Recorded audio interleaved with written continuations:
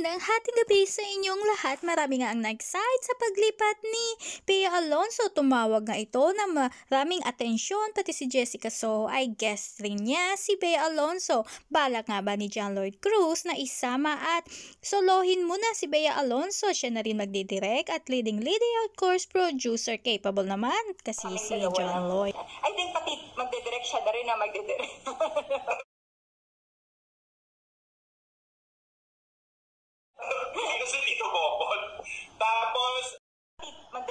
na rin na magdidirect.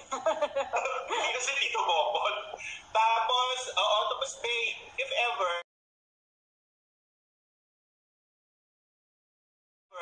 Ah, yun nga. Ah, nakakatawa. Si Lloyd yung may show na sa GMA. Ikaw yung wala pa. Pero eh, siya hindi pa nakapirma. Ikaw yung nakapirma at pinel Welcome ka na today. Ba't nauna ka pa? Di ba? Hindi ko alam sa kanya. Baka sinusundan ako ni John.